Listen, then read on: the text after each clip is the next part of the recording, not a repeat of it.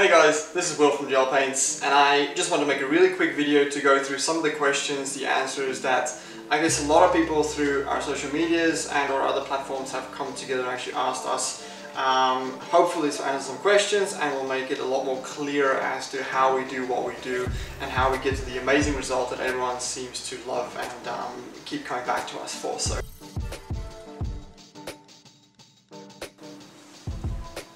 Okay, so let's just jump straight in. So first question we get quite a lot here at Gel Paints is can we do custom films? Um, we 100% understand where this question comes from, obviously because people want to put like, you know, their own touch to um, uh, like to their gel blasters and that's all fine and dandy.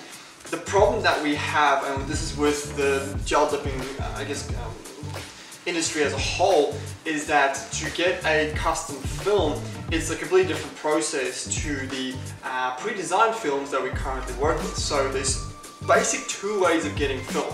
One is an ink injection uh, printed film and the other one is an actual roll printed film.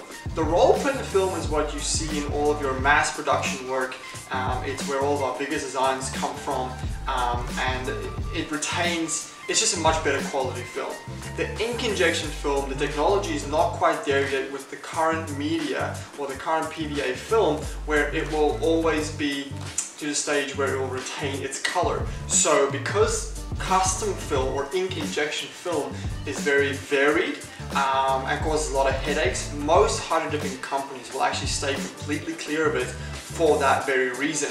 And that's another reason why we um, stay with the preset designs that we have in our catalog. So what we can do though to customize is we can play with things like your base colors and we can overlay different images uh, over each other within the dipping process. So as far as customizations goes, we can customize to that extent, but as far as completely new designs, new images, um, you know, completely custom work, uh, it is just not within the hydro dipping space um, where it's a valid technology with the uh, processes and procedures that we have available to us at current to, uh, to make that um, uh, a, like a viable option for our clients. So custom film, bad, variable, doesn't get results.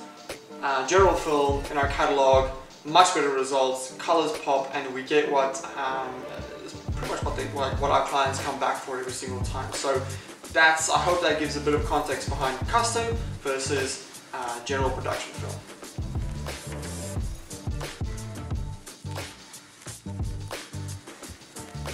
Second question we get at Gel Paints quite often is, is the material that we use, is the PVA film a wrap? Um, it is true to the extent that it does wrap around the object, but not in the conventional sense where it's a layer that we put on top just like most paints, uh, it will actually, if applied correctly, bond to the substrate layer that is underneath it. So you actually get a more factory finish, a more natural looking finish when you hydro dip something because everywhere the water goes, the paint goes. So uh, just like the water is fluid, the paint becomes fluid and you can get into much tighter spaces uh, as you can see on these gel blasters and the material we normally work with, then you would be able to get it with a wrap. Um, I hope that answers the question.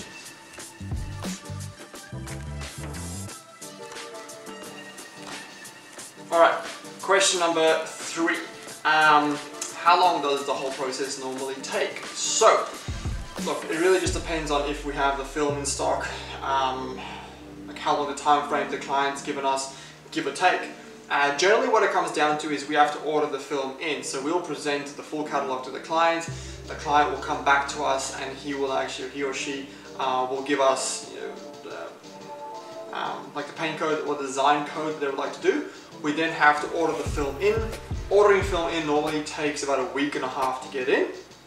Once the film is here, uh, we'll contact the client, get them to bring their product or their job blast or whatever it is that we're doing for them into the shop um, and we go from there. Now with gel blasters in general, um, it takes us about four days. Four days to receive uh, the item in, um, to prep it up, to tape it up, do whatever we need to do, and then to clear coat it. Clear coating normally takes about a day just there, just to cure properly, uh, to the point where you can actually handle it.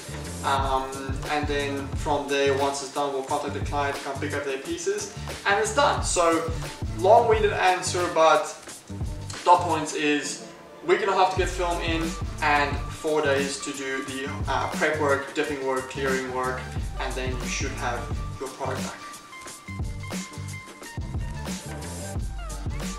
Alrighty guys, question number four. We're getting to the end of our list now. So another question we quite often get here at Gel Paints is what is involved within the, uh, with, like with what we do once we receive your gel blasters.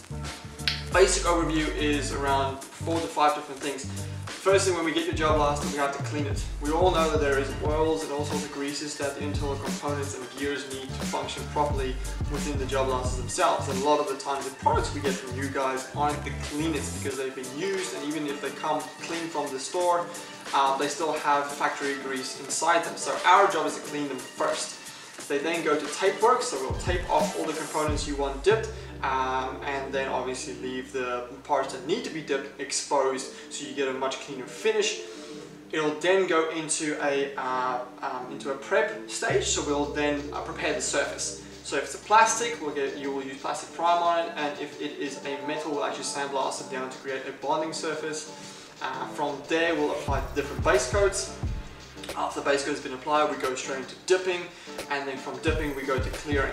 So I hope that that uh, clears up some, um, some questions around what we do once your blaster um, or car parts or whatever the case may be uh, comes into our shop and, uh, and, and how we handle each different item.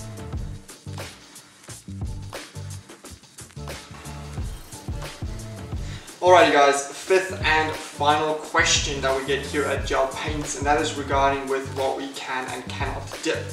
Um, very simple answer. Uh, most plastics and metals, no issue at all. Uh, we can dip them, the paint bonds really well. We have the actual uh, chemicals to make the process go seamless. The issue that we run in with is when you guys start using prop items. Prop items normally have a rubber outer surface and paint in general um, does not bond very well to rubber outer surfaces. Um, especially when you use them how they're meant to be used. Like these uh, objects, especially like for you guys to go out to the field, you know that they uh, are made to withstand quite a lot of impact and because the outer surface uh, has a lot of uh, flex in it, when you apply paint to a flexing surface, you're going to have cracks, you're going to have peels, it's not going to be a good time for anyone. So that's why we stay away from rubber outer surfaces. Uh, and we concentrate more on your harder surfaces. So again, metals, um, most plastics, no issue at all. Thank you very much for your time guys, this has been fun. Um, I actually, this is my first Q&A, so I hope that uh, that it's answered a lot of your questions. I hope that, uh, like what we do is a lot more clearer to you guys. And look, this has been fun. I'm, I'm definitely keen to do this again. So um, hit us up if there's any more questions that you guys uh, have. Uh, we'll select a few, maybe do another one of these, uh, and we'll try to answer them as best as I can.